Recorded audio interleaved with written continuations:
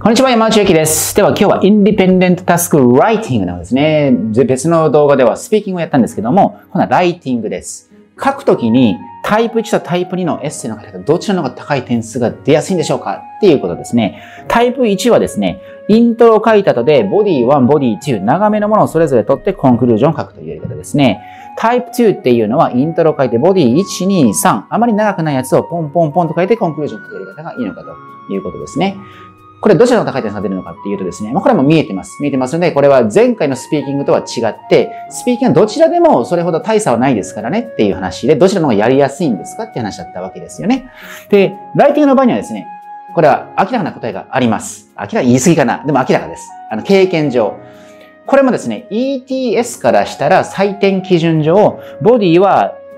2つの方がいいんだ。3つなきゃダメなんだっていう基準があるかというと、これはないです。本当にないです。なので、これボディ2つだったら低い点数が出てるんですか？とか満点出ないんですか？って言うとそんなことはなくて、これでも満点出るときには出ます。これでも低い点数が出るときには出ます。だから構造上どちらの方が有利ということは採点基準上はないです。ただ、あなたにとって書きやすいのはどっち？点数が取りやすいのはどっち？そこが話のトピック、トピックの本質ですよね。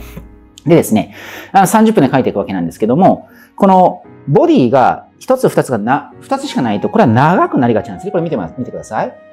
うん。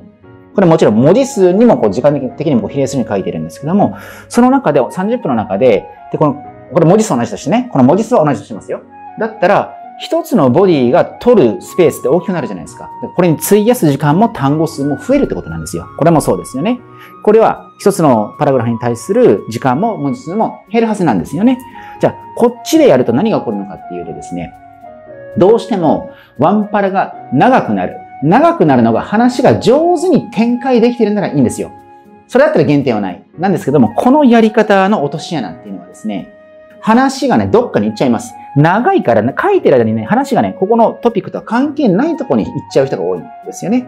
で、同じことのリピートが起こりがちです。なので、結論としては、まずはこちらのやり方っていうのを私はお勧めします。で、実際にね、同じ実力の生徒様が、受験者様がテストを受けているときに点数、より高得点を取っているのは、こちらの方がより高得点を取っている確率は目に見えて高いです。これは、私たちのね、統計データといいますか、経験則に基づくものなので、だって同じ実力の人が受験を何回かやって、二つの方法で書いてみます。同じ実力の人なんだから、何遍もこう受けてみると、やはり同じぐらい点数が取りやすいんであれば同じような点数になるはずなんですね。圧倒的にこちらの点数取りやすくなっているので、例えば20、こっちだったら22です、こちら26とか7が出ますとか、そういうことをよく見るので、やっぱりこちらの方が書きやすいんだろうな。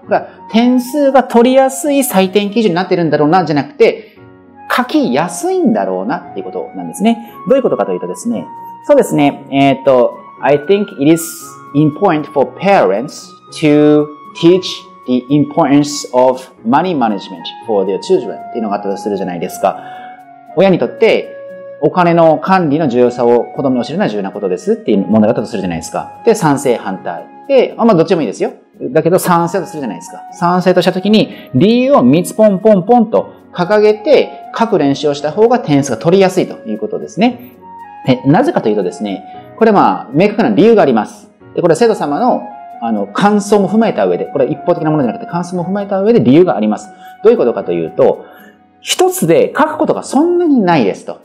例えば子供のうちって吸収が早いですよね。だから人生によって重要なことを学ぶのは早い方がいいです。子供の頃の方がいいですっていうのがあったとするじゃないですか。で、それを、例えば100単語、これ 100, 100単語ぐらいになります。大体どのぐらいの単語数になるかっていうと、100から110ぐらいが多いです。